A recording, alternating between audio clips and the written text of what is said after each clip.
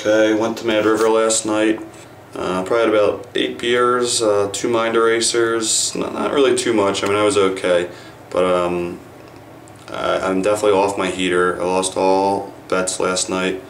Um, I was right on Kentucky, but parlayed with Kansas State, which lost, and whatever the other game was, Washington lost that. But um, so I went to sleep probably like uh, 1.30 or so. Uh, you know, not hammered, but you know, drunk.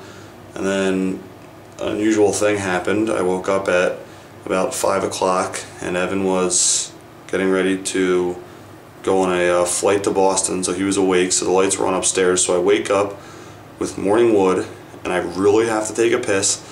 So this, these two things don't really go together. So I'm like, I don't have my contacts in, I'm awake, and I'm like, um, I like get my dick in my in the elastic and I'm like ready to make the trip across the hall to the bathroom. So I'm like, okay, this is going to be interesting. Hopefully Evan's not around for this. So I just stick it in. So I'm like walking around just like completely like staggering, get to the bathroom and then I have another problem because I have to take a piss. So I'm like, okay, what do I do now? So I'm like aiming the thing down like like trying to take a piss like and I can't see anything with all my contacts in the whole thing was just a big, big mess.